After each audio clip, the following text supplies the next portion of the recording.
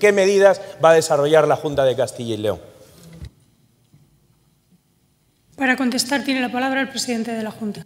Muchas gracias, señora presidenta.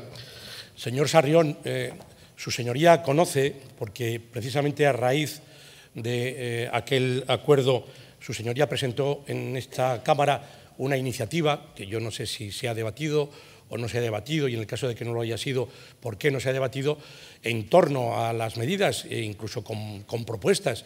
Y yo le puedo decir que con un número de propuestas que muy significativamente, venían a coincidir con las que nosotros estábamos eh, estudiando eh, y, en su día presentamos en el mes de mayo a los propios agricultores, organizaciones profesionales agrarias, y se pusieron en marcha y son las que yo también en el mes de septiembre expuse aquí a raíz de una pregunta que se me hizo sobre esta materia, en particular por el eh, portavoz del Grupo Parlamentario eh, Socialista. Hoy podemos actualizar, si quiere, eh, esas medidas y cuáles están siendo los frutos que ya se han dado, pero que su señoría desconozca o plantee en clave de futuro lo que, hombre, en el mes de mayo a lo mejor tenía mucho sentido, pero hoy ya no, porque en definitiva llevamos ya con seis meses de, una serie de medidas que yo creo que además son algunas de ellas y por la colaboración que suponía con el Estado medidas que no se han puesto en marcha en ninguna otra comunidad autónoma, pues me parece que es desconocer una realidad sobre la que por otra parte yo le vuelvo a repetir, yo le puedo dar hoy buena cuenta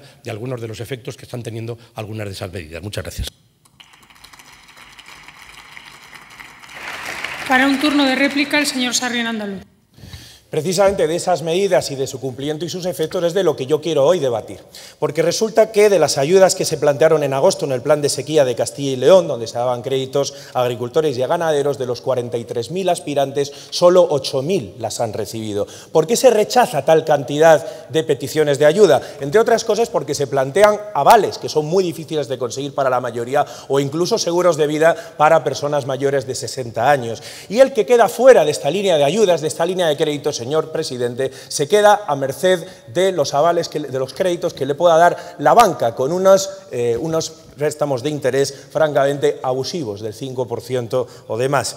El Gobierno central, efectivamente, sabemos que ha hecho el anticipo de la PAC, que, por cierto, hace otros años, por lo tanto, no es una medida de tipo excepcional. Hay unas bonificaciones de intereses de préstamos que, por otro lado, son completamente insuficientes, con un máximo en la subvención de 1,5 puntos porcentuales. Convendrá conmigo que esto bien poco ayuda a las explotaciones de pequeños y medianos agricultores y ganaderas, y que además están sujetas a devolución en un sector enormemente endeudado. Una reducción del IRPF inmensamente limitada, porque usted comprenderá que una explotación con pérdidas o que tiene cero de ganancia o muy poco, una reducción del IRPF muy poquito la puede ayudar el aplazamiento de las cuotas de la seguridad social, que no deja de ser un mero aplazamiento en un sector, insisto, endeudado y que generará un problema el año que viene porque tendrán que pagar el doble, cuando lo que tenemos que caminar es hacia una exención. Y, en definitiva, una exención de tasas de la que aún tampoco sabemos nada. Nosotros creemos que es necesario avanzar, que es necesario tener medidas radicales y medidas efectivas. Izquierda Unida ECO propuso en el debate de política general que tuvimos eh, a finales del último periodo de sesiones realizar ayudas de minimis de hasta 15.000 euros, en el sentido que permite la Unión Europea, para poder ayudar a aquellos agricultores y ganaderos a título principal que se encuentran afectados por la sequía o por otros fenómenos meteorológicos. En el actual debate de presupuestos de 2017 hemos vuelto a registrar enmiendas para poner en marcha estas ayudas de minimis de hasta 15.000 euros. Este es el tipo de ayuda, a nuestro juicio, que tiene que ir. Hay que pensar en el pequeño y el mediano ganadero de un sector enormemente endeudado y que es crucial para la supervivencia de nuestro mundo rural, que es crucial para la supervivencia de Castilla y León y que es esencialmente necesario para mantener vivos nuestros pueblos. Y una última reflexión, señor presidente, apostar por macroproyectos como el de Noviercas o el de Villafáfila no es apostar por la lucha contra la despoblación, sino que es poner una puntilla más a los pequeños y medianos ganaderos de Castilla y León y agricultores que se encuentran en un franco y enorme problema. Gracias. Para un turno de dúplica, el presidente de la Junta. Gracias, presidenta. Señor Sarión, yo comenzaré reconociendo, como hice con las sopas en mayo y como he hecho hace dos semanas en un acto público con, las gentes del campo, que las medidas necesariamente tienen que ser limitadas ante la magnitud del, daño causado por, por, un año espectacularmente desastroso en materia de sequía. Comenzaré reconociendo eso.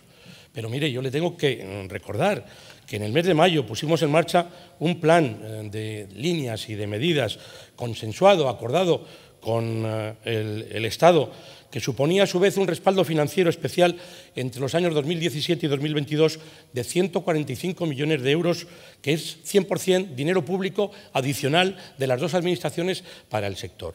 Y que ese plan, ese conjunto de medidas, hasta la fecha de hoy, ha generado, por una parte, una liquidez para el sector superior a los 1.018 millones de euros. Estamos hablando de 785 millones de euros ya pagados, anticipados de la PAC. No lo paga el Gobierno de la Nación, lo paga, y yo quiero subrayar aquí mi agradecimiento a, los funcionarios que lo gestionan en Castilla y León, la Junta de Castilla y León, y otros 233 millones de euros al sector en préstamos, y junto a esos, otros 69 millones en ahorros para el sector.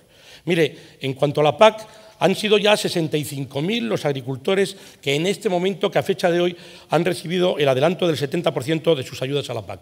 Nuestra previsión es que el 90% de todos los recursos, 923 millones de euros es la PAC del año 2017, estarán abonados, estarán en manos de sus beneficiarios el próximo 31 de diciembre. En este momento hay ya 8.777 expedientes de préstamos concedidos en Castilla y León. Y son préstamos que tienen una modalidad. Están avalados por el Estado y el Estado, lógicamente, exigirá alguna mínima garantía, pero están bonificados por la Junta de Castilla y León.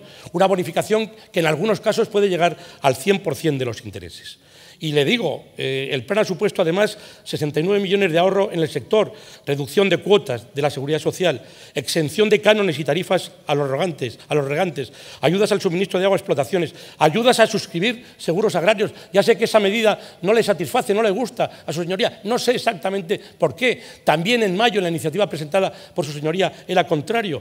Y por supuesto, usted preguntaba dónde está ese anuncio de bonificación del 100% en tasas al sector agrario. En el proyecto de presupuesto de 2018, dos millones de euros. La lástima es que no va a contar tampoco con el apoyo de su señoría. Es una lástima.